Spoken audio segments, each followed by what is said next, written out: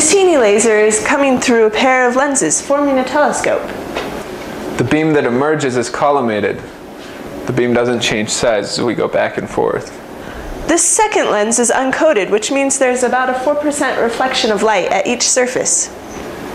Light that reflects from the second surface, followed by a reflection from the first surface, emerges from the lens inside the collimated beam, but it's really weak. It's focusing down to about 26 centimeters after this lens. When the weak beam focuses, its intensity is about the same as the collimated beam.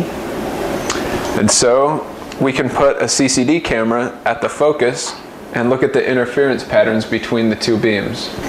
We also put a pinhole in the telescope to get rid of stray light. We also need to put a filter in to make sure that the light doesn't kill the CCD camera. And now we can look at the interference patterns. I'm moving the camera to about a centimeter before the focus to about a centimeter after the focus. And notice how the phase shifts through pi because of the Gouy shift.